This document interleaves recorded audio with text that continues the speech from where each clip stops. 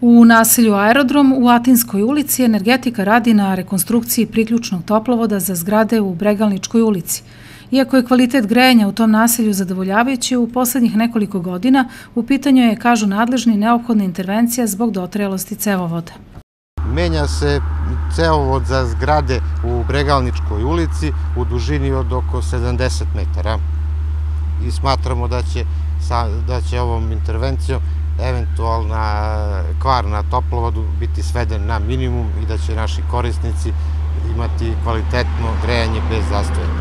Do sada smo radili radove i na, u naselju Aerodrom, ali i u centru, u Erdogli, na rekonstrukciji postojećih toplovoda, ali i na priključivanju novih korisnika. Mogu da kažem da ove grejne, pred ovu grejnu sezonu planiramo da priključimo oko 400 novih korisnika, uglavnom su u pitanju stanovi, ali ima i privatnih kuća za individualno stanovanje.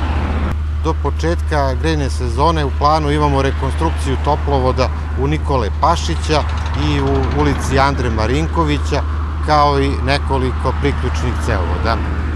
Grejna sezona zvanično počinje 15. oktobra, ali će ove godine Kragujevačka toplana biti spremna još 15. septembra. Energetika će u periodu od 20. septembra izvršiti tehničku probu funkcionisanja svih energetskih objekata i opreme. Pred početak grejne sezone biće obezbeđene dovoljne količine uglja i to oko 25.000 tona. Urađen je idejni projekat za prelazak na gas, pa se očekuje da će 2021. godine Kragujevčani toplotnu energiju dobijati iz gasa. Do tada bi trebalo da bude završena zamena kotlova na matičnoj lokaciji. U toj prvoj fazi veći deo grejne sezone koristit će se prirodni gas kao gorivo, dok će ugalj biti pomoćno.